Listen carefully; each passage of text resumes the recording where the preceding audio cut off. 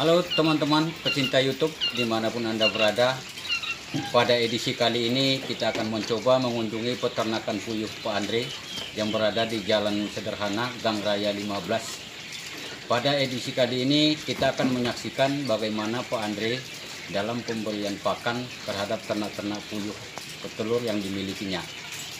Mari saksikan terus channel saya ini kita ikuti terus sampai akhir agar kita dapat menyaksikan video-video menarik lainnya yang akan ditayangkan berikutnya. Mari teman-teman ikuti terus perjalanan saya pada video kali ini. Baik teman-teman, sekarang saya udah berada di peternakannya Pak Andre dan di sini bisa kita saksikan bagaimana Pak Andre sedang melaksanakan pemberian pakan terhadap ternak-ternak puyuh yang dimilikinya.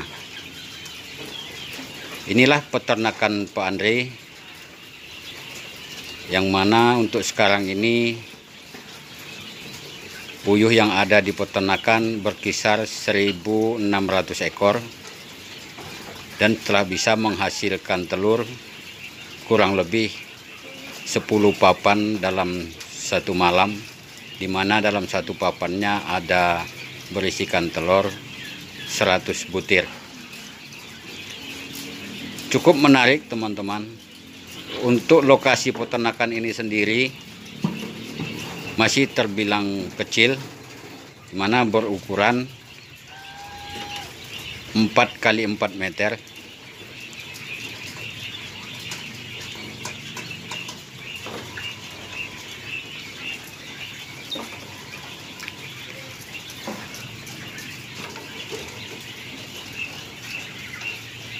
Di sini juga bisa kita saksikan hasil-hasil yang telah dihasilkan oleh ternak puyuh itu sendiri. Ada butiran-butiran telur yang telah tersedia di kandang petelur.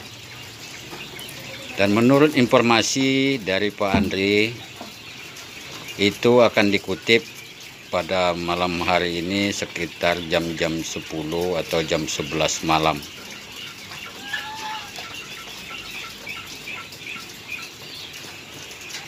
Dan untuk pakan khusus petelur itu pakannya apa ya Pak?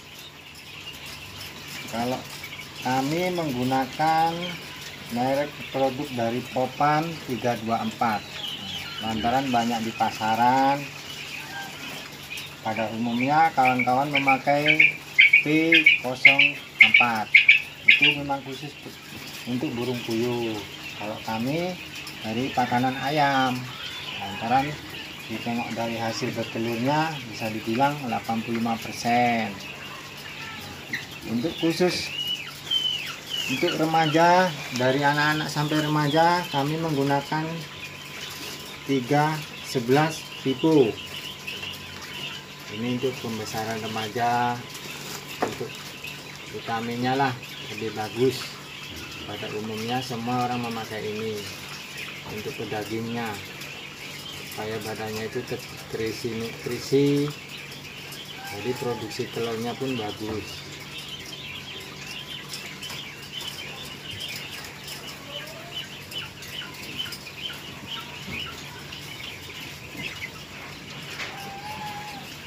kami memberi makan satu hari dua kali kadang nanti siang kami tambah sedikit demi sedikit ada yang sisihkan kurang tambah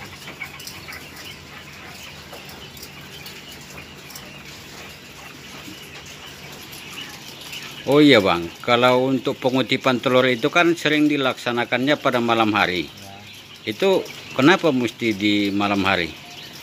Kami takutnya nanti takutnya ada hama hama tuku yang memang sampai sekarang alhamdulillah belum ada. Cuman kami kami menjaga supaya biar tidak memancing hama tikus tadi. Lantaran di sekitar keliling kami masih banyak lahan-lahan kosong. Takutnya nanti sekali dia udah memakan seterusnya dia akan mengambil terus. Jadi kami menghindari itu. Memang nggak semua 50% kami memanennya nanti di pagi hari pun sisanya 50% memang pada umumnya peternak-peternak itu di pagi hari sesudah membereskan semua kotoran memberi pakan pagi hari baru orang kutip telur. Kalau kami dibaliknya Nah, kami ada waktu senggang malam kami kutip malam baru sisanya di pagi hari. Dan untuk hasil pengutipan dalam satu malam itu rata-rata berapa Bang? Sekarang burungnya yang sudah produksi 150 ekor.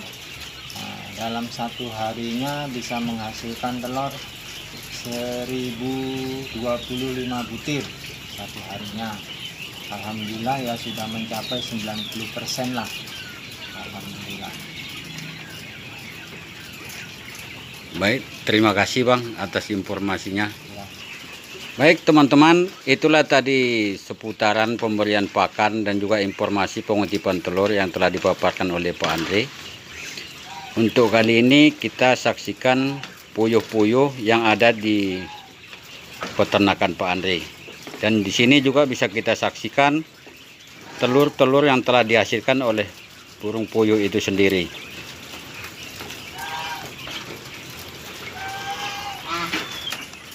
Ini dia teman-teman. Di sini bisa kita lihat butiran-butiran telur yang telah dihasilkan peternakan Pak Andre.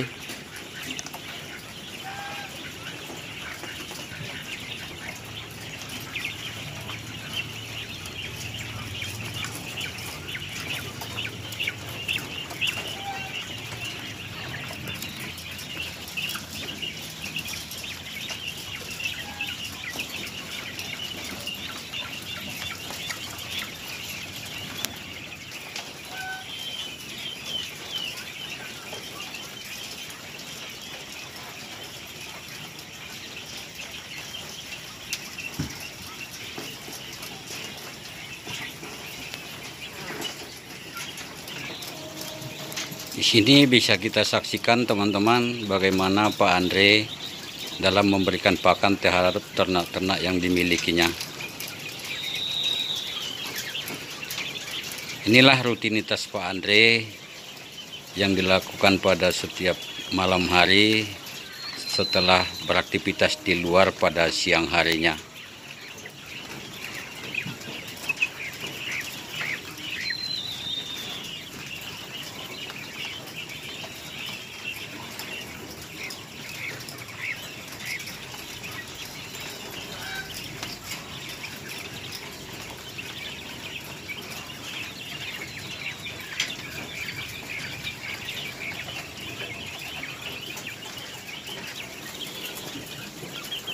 Oh iya bang. Untuk peternakan puyuh ini sendiri, setelah mempunyai peternakan sendiri, keuntungan apa yang abang rasakan? Dan bagaimana perasaan abang setelah mempunyai peternakan ini secara sendiri? Nah, Alhamdulillah uh, keuntungannya ya bisa membantu perekonomian uh, di rumah uh, setidaknya bisa membantu uang belanja lah kalau sampai saat ini Alhamdulillah harian ibu rumah tangga kami termasuk istri istri kami satu hari bisa menghasilkan 75.000 65 satu harinya. Kalau sukanya itu ya Alhamdulillah sampai saat ini kami pun hobi sama binatang. Nggak ada lah kendala apa pun. Paling kendala kalau dukanya ini harga telur turun harga pakan naik itulah dukanya Baik teman-teman, itulah tadi penjelasan singkat terkait dengan peternakan puyuh yang dimiliki oleh Pak Andre. Di sini bisa kita saksikan peternakan yang dimiliki oleh Pak Andre. Cukup menarik pemirsa, teman-teman sekalian. Pak Andre selain mempunyai kesibukan di luar, beliau juga mempunyai rutinitas di rumah untuk mengurus ternak-ternak yang dimilikinya.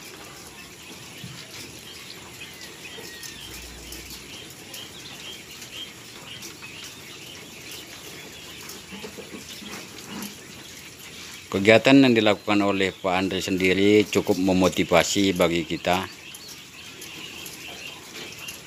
di mana beliau tidak bertumpu sepenuhnya untuk kegiatan-kegiatan yang dimilikinya di luar rumah. Justru untuk menopang perekonomian di rumah, beliau juga membuka usaha peternakan di Rumpangah sendiri.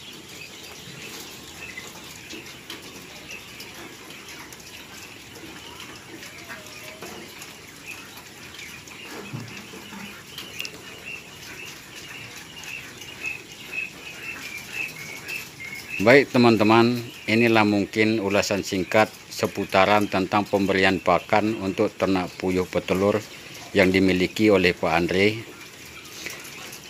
Mungkin untuk hal-hal yang lainnya nanti kita bisa sharing melalui kolom komentar yang ada.